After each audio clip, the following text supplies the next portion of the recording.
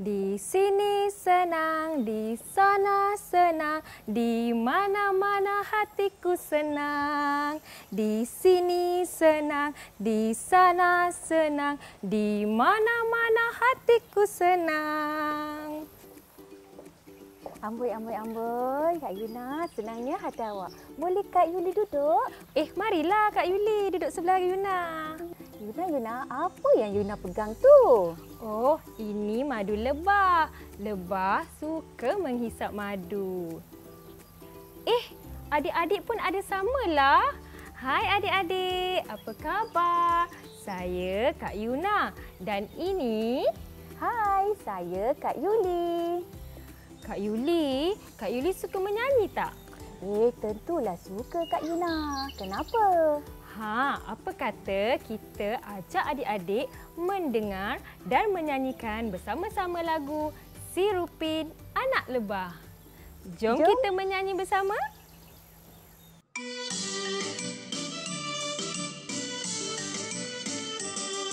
Tersebutlah kisah seekor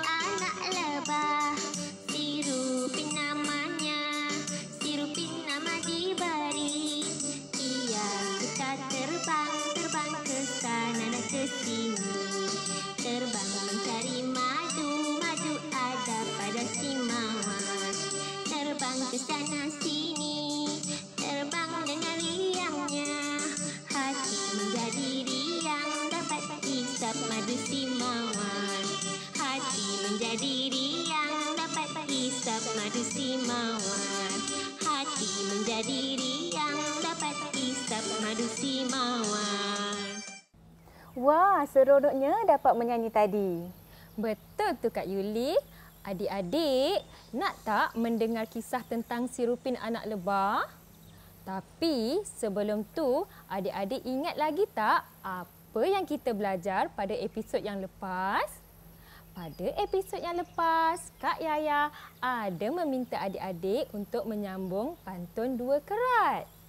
Pantunnya berbunyi, Siakap senohong, gelama ikan duri. Apa jawapannya ya Kak Yuli dan adik-adik?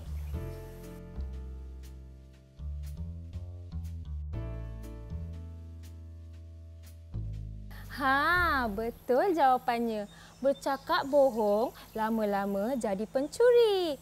Adik-adik ingat tahu, jangan sesekali cakap bohong.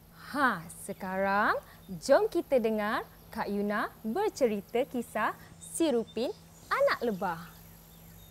Kisah si Rupin anak lebah.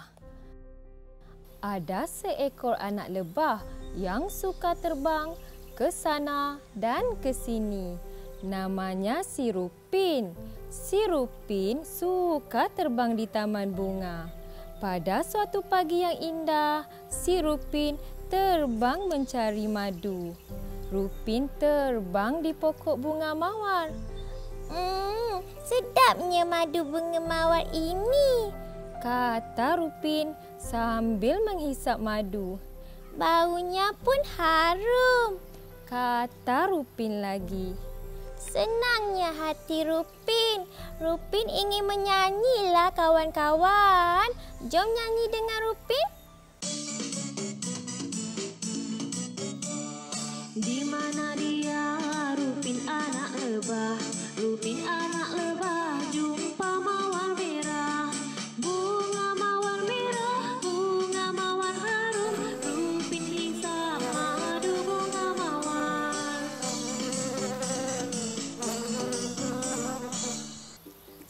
Asyik Rupin menghisap madu, tiba-tiba dia terlihat sekumpulan semut sedang bernyanyi dan berteriak. Semut berkawat dua-dua ora ore. Semut berkawat dua-dua ora ore. Teriak sekumpulan semut tersebut. Hai semut, kamu hendak ke mana? Tanya si Rupin. Eh, Rupin rupanya. Kami ingin mencari makanan untuk dimakan. Jawab semut. Oh, begitu. Balas si Rupin. Amboi-amboi, seronoknya semut mencari makan. Ha, Kak Yuli dan adik-adik nak tahu tak apa pula yang dijumpai oleh si Rupin selepas itu? Apa pula yang dijumpai si Rupin selepas itu, Yuna? Ha, mari kita sambung cerita tadi. Sedang leka Rupin menyanyi sambil menghisap madu, tiba-tiba datang seekor lalat. Hai Rupin, kamu sehat? Tanya lalat. Saya sihat. Cuba lihat. Saya hisap madu untuk jadi sihat. Kata Rupin riang. Cuba kamu pergi ke taman bunga sebelah sana. Aku lihat di sana banyak bunga yang mekar. Kata lalat kepada Rupin. Baiklah, saya akan ke sana sekarang. Balas Rupin. Setelah itu, Rupin pun terbang lagi ke arah taman yang dikatakan oleh lalat. Begitulah rutin seharian si Rupin. Si Rupin akan terbang ke sana dan ke sini untuk mencari madu.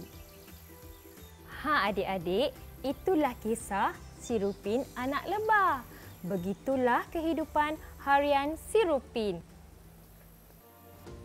Okey, sekarang Kak Yuna ingin menguji kefahaman Kak Yuli dan adik-adik pula. Jom kita lihat soalan yang pertama.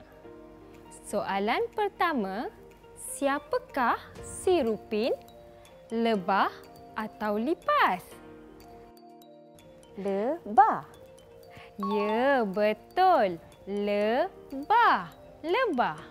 Pandai Kak Yuli dan adik-adik. Soalan kedua. Apakah yang Rupin buat ketika jumpa madu? Minum atau hisap? Minum. Hmm, salah jawapan tu. Ha, bagaimana pula dengan adik-adik? Apa jawapannya ya? Ya, betul tu. Hisap. Hisap. Pandai adik-adik. Ingat ya adik-adik, lebah hisap madu.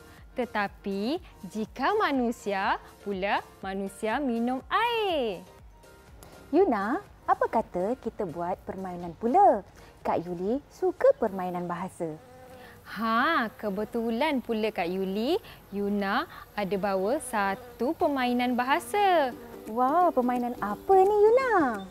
Nama permainan ini ialah permainan telur sarang lebah. Bagaimana memulakan permainan ini? Baiklah Kak Yuli, di sini ada enam biji telur lebah. Jadi, Kak Yuli perlu membuka setiap telur yang ada di sini. Di dalam telur ini terdapat perkataan yang perlu Kak Yuli baca. Jika Kak Yuli dapat membaca perkataan yang terdapat di dalam telur ini, Yuna akan memberi satu token kepada Kak Yuli. Ha, Kak Yuli perlu mengumpul sebanyak enam token. Jika Kak Yuli dah dapat enam token, Yuna akan memberi hadiah kepada Kak Yuli. Wah, seronoknya. Baiklah, mari kita mulakan permainan sekarang. Kak Yuna nak pilih yang ini. Okey.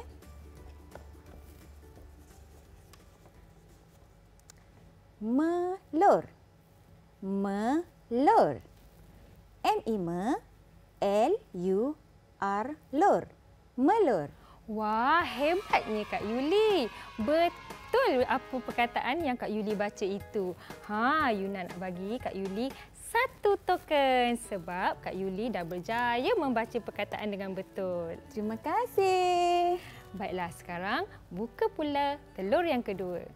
Um, Kak Yuli nak pilih... Okey, yang ini. Kita tengok. Perkataan apakah? Putih. Putih. P-U-P T-I-H-T. Putih. Wah, betul lah. Pandai Kak Yuli. Sekarang Kak Yuna bagi Kak Yuli token yang kedua. Terima kasih. Okey, Kak Yuli boleh buka pula telur yang ketiga. Baiklah, seterusnya Kak Yuli pilih yang ini pula. Okey, yang ini. Ah, la, la, lat. La, lat. L-A la, L-A-T, lat. La, lat. Wah, pandai betul lah Kak Yuli ni. Okey, Kak Yuli akan mendapat token yang ketiga. Tiga token. Terima kasih Kak Yuna. Sama-sama. Baiklah, sekarang Kak Yuli buka pula telur yang keempat. Yang keempat.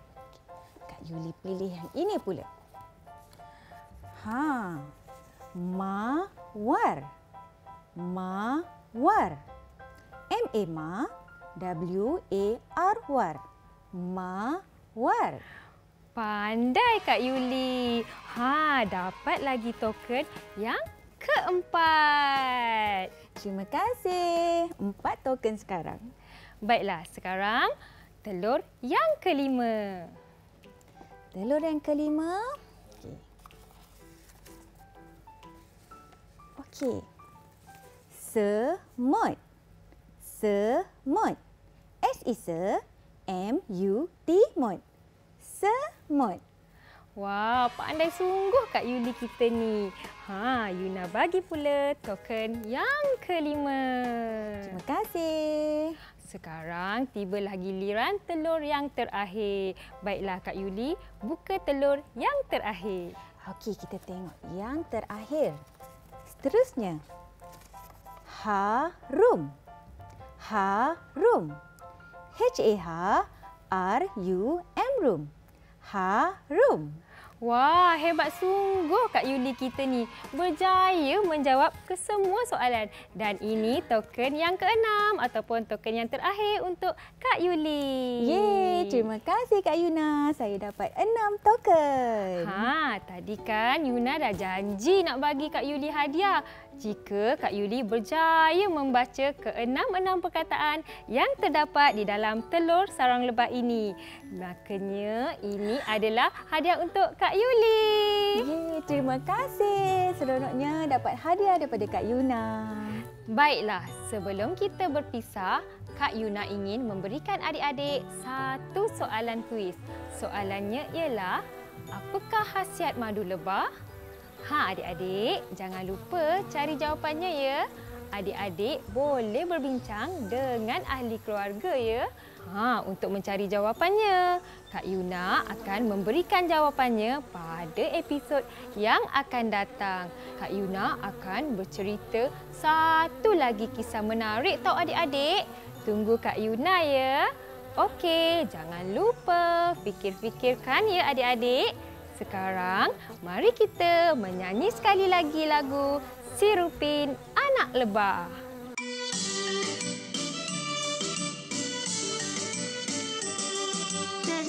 Tersebutlah kisah seekor anak lebah